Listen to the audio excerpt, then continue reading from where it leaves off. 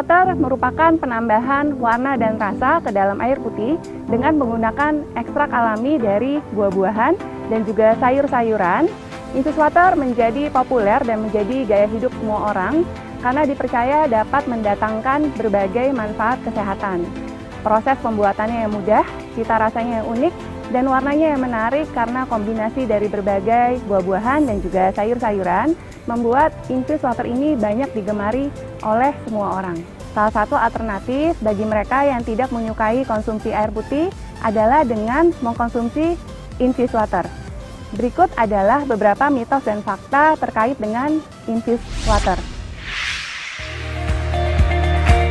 Infused water menjadi salah satu tren minuman kekinian yang digemari. Bahkan, menenteng sebotol infused water menjelma menjadi sebuah gaya hidup baru. Warna-warni dari buah dan sayur membuat infused water disukai. Bagi sebagian orang, infused water dipercaya memiliki banyak manfaat kesehatan. Di segmen kali ini, Dr. Feni Nugraha, spesialis gizi, akan menjawab 6 mitos yang banyak beredar di masyarakat. Berat badan berlebih dapat menjadi sumber gangguan kesehatan serius, mulai dari diabetes hingga penyakit jantung. Fakta mitos ketiga, mitosnya infus water membantu menurunkan berat badan. Itu fakta atau mitos ya? Itu adalah mitos. Hingga sekarang, belum ada penelitian yang membuktikan bahwa infused water dapat membantu menurunkan berat badan. Air memang membantu di dalam meningkatkan laju metabolisme tubuh. Ketika Anda sedang menjalankan diet, Konsumsi infused water bermanfaat untuk mencukupi kebutuhan cairan Anda. Jika berat badan Anda ingin turun, Anda tetap disarankan untuk menjaga pola makan, kurangi asupan makan, dan juga tingkatkan olahraga Anda. Kurangnya mengonsumsi serat menjadi salah satu penyebab pencernaan menjadi tidak lancar. Fakta mitos keempat, pencernaan yang tidak lancar dapat menjadi masalah serius jika tidak segera ditangani. Mitosnya, mengonsumsi infus water dapat membantu melancarkan pencernaan. Benarkah itu fakta atau mitos ya? Ini adalah fakta. Konsumsi air, salah satunya dari infused water, dapat membantu melancarkan sistem pencernaan, yaitu dapat membantu kerja usus di dalam mencerna makanan dan juga dapat melarutkan zat-zat gizi lainnya. Konsumsi air dapat membantu agar kinerja tubuh akan lebih optimal sehingga proses pembuangan sisa-sisa metabolisme di dalam tubuh yang menggunakan media air akan lebih maksimal. Saat ginjal Anda tidak berfungsi dengan baik, tentu dapat mengakibatkan gangguan pada kesehatan. Fakta mitos kelima, ginjal merupakan organ yang berfungsi untuk menyaring racun dalam tubuh. Mitosnya, rutin mengonsumsi infus water dapat mencegah penyakit batu ginjal. Apa ya kata dokter Feni? Fakta atau mitos? Ini adalah fakta. Konsumsi air yang didapatkan dari infused water dapat membantu aliran urin menjadi lebih baik dan lancar, sehingga dapat mencegah terbentuknya batu ginjal. Infused water yang ditambahkan buah-buahan yang asam seperti lemon, jeruk nipis, dan juga jeruk yang mengandung asam sitrat dan kalium di dalamnya dapat membantu mencegah terbentuknya batu ginjal. Fakta mitos keenam, di masa pandemi, mengonsumsi buah dan sayuran yang mengandung vitamin C dapat membantu meningkatkan imunitas tubuh. Selain itu, Anda juga dapat mengonsumsi infus water karena mitosnya konsumsi infus water dapat meningkatkan sistem kekebalan tubuh. Itu fakta atau mitos ya? Itu adalah mitos. Memang buah dan sayur terkandung di dalamnya berbagai vitamin dan mineral yang diperlukan oleh tubuh kita. Warna-warni yang ada pada buah dan sayur mengandung zat antioksidan yang dapat meningkatkan sistem kekebalan tubuh. Tetapi sayangnya, ketika dikonsumsi dalam bentuk infused water, kandungan vitamin dan mineral yang didapatkan hanya dalam jumlah yang minimal.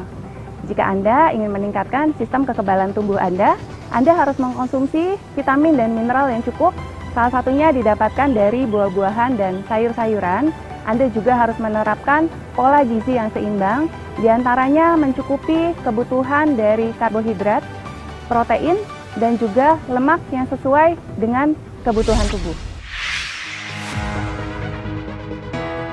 Bagaimana pemirsa? Sudah jelaskan manfaat dari konsumsi infus water? Nah, kali ini Dr. Feni Nugraha, spesialis gizi klinik, akan berbagi tips membuat infus water. Yuk kita simak!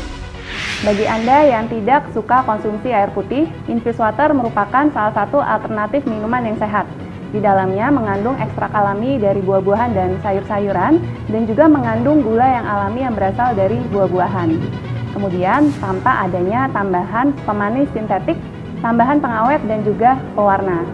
Bagaimana jika di depan Anda ada botol minuman yang transparan seperti ini, kemudian diisi dengan air dingin, lalu ditambahkan dengan berbagai warna dari buah-buahan dan sayur-sayuran seperti yang akan saya buat hari ini, yaitu dari buah-buahan stroberi, lemon dan juga mentimun yang segar, apalagi ketika cuaca sedang panas seperti ini, pasti siapa pun akan tertarik untuk meminumnya. Nah, berikut saya akan bagikan tips bagaimana cara membuat infused water yang baik. Cara pembuatannya sangat mudah dan sederhana. Anda hanya perlu menyiapkan saya punya botol minuman yang transparan seperti ini. Kemudian Anda dapat siapkan kurang lebih 500 ml sampai 1 liter air tergantung dari kapasitas dari si botol minuman yang Anda gunakan. Kemudian Anda dapat siapkan beberapa potongan dari buah-buahan dan uh, sayur-sayuran. Saran saya Anda boleh memilih buah-buahan yang rasanya asam atau netral. Contohnya adalah seperti buah stroberi, Kemudian seperti buah lemon atau pilihan buah lain seperti buah jeruk nipis, jeruk, dan juga apel. Untuk buah-buahan yang manis tidak disarankan digunakan untuk dipakai di dalam infused water. Kemudian Anda bisa mengganti aneka rasa buah dan sayur setiap hari sesuai dengan selera Anda. Jangan lupa sebelum membuat infused water, Anda harus cuci bersih buah dan sayur yang Anda gunakan dan juga bahan-bahan yang akan Anda gunakan. Nah, saya akan membuat infused water hari ini. Saya akan masukkan ke dalamnya air matang.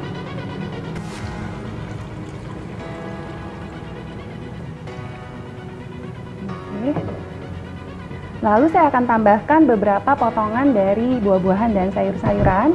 Saya akan memilih buah stroberi. Kemudian ini saya akan menggunakan kurang lebih 4 buah stroberi yang saya potong dibagi dua kemudian saya akan gunakan buah lemon dan saya akan potong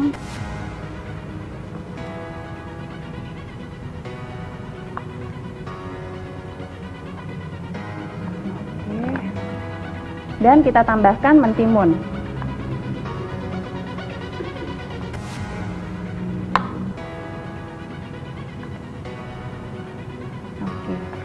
Lalu Anda juga bisa menambahkan penambah seperti daun mint seperti yang ada di depan saya atau Anda dapat menambahkan seperti jahe, kayu manis atau sereh. Saya akan menambahkan dan memasukkan semua bahan-bahan ke dalam botol yang berisi air. Jangan lupa ya, sebelum Anda memegang buah dan sayur ini Anda harus mencuci tangan Anda terlebih dahulu. Kemudian saya masukkan semua bahan-bahannya ke dalam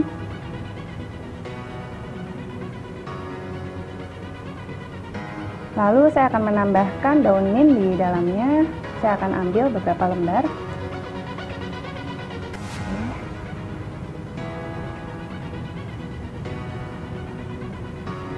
Lalu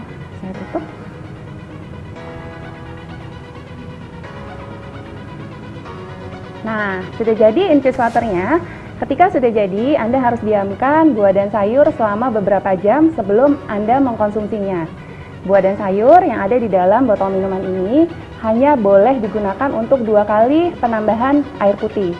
Ketika sesudah itu, Anda harus mengganti buah dan sayur yang baru. Nah, dengan Anda mengkonsumsi infused water, Anda mendapatkan dua manfaat sekaligus, yaitu manfaat dengan mengkonsumsi air putih dan juga manfaat dengan mengkonsumsi buah-buahan dan sayur-sayuran.